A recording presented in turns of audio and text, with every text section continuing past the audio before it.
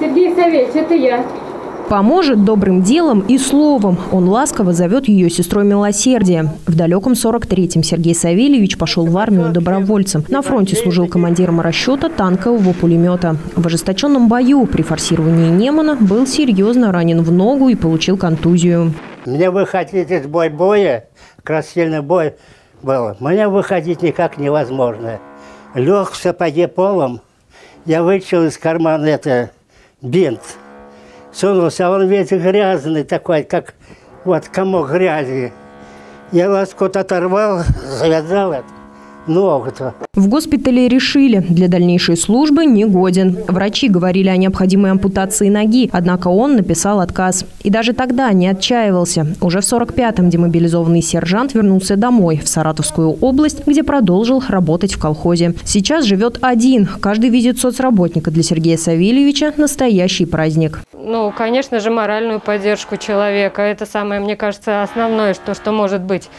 Это взаимодействовать с человеком, поддерживать его в сложную секунду и как раз отслеживать его состояние здоровья, когда он заболевает, когда начинаются какие-то перемены в настроении, в состоянии здоровья. Мне кажется, это тоже очень важно. Когда в начале декабря заболел коронавирусом, сразу положили в ковидный госпиталь в медгородке. Поражение легких составило 30%. Тогда медики бросили все силы на то, чтобы вылечить ветерана. И уже новогодние праздники Сергей Савельевич встречал дома. Сейчас продолжается реабилитация. Стабильно его навещают врачи и медсестры. Все хронические заболевания под контролем. Я тебя люблю, Сергей Савельевич. Самый мой любимый старенький ветеран и долгожитель моего участка. Он очень жизнелюбивый у нас пациент. Он стойко борется со всеми своими хроническими болячками, решает свои проблемы, но при этом очень добрый, наивный человек.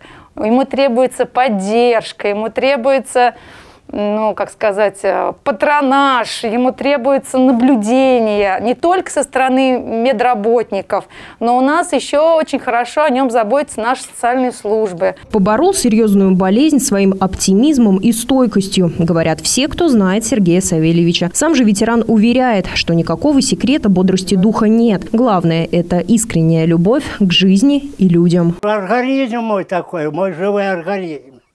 Видишь, он никогда не уставал, у меня никогда, и всегда я, всегда я такой-то. И всегда с людьми. Я работал бригадиром, всегда. Людей всех обозначаю, всех я знаю как. И здесь меня все знают, видишь. Ну, как любовь к людям, вот, только все.